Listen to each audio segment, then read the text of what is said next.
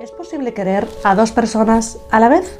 Pues sí, lo cierto es que sí se puede. Para que lo entendáis mejor tenéis que ver el amor dividido en dos grandes etapas. Está la etapa del enamoramiento, que es la primera etapa, donde hay mucha atracción, mucha química sexual, donde están las hormonas revolucionadas y donde vemos a esa persona que es perfecta para nosotros, no le vemos defectos.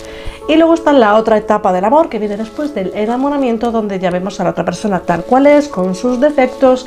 Es una etapa mucho más tranquila, mucho más sosegada, donde la atracción ya ha bajado bastante y de esa persona nos da mucha seguridad.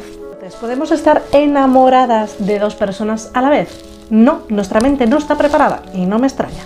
No puede sostener dos enamoramientos de dos personas diferentes, pero lo que sí es capaz de sostener es un enamoramiento y otro en la etapa del amor maduro, donde en un lado tendríamos la fase de la pasión, la fase de la eh, atracción, mientras de la otra tendríamos la fase de la seguridad.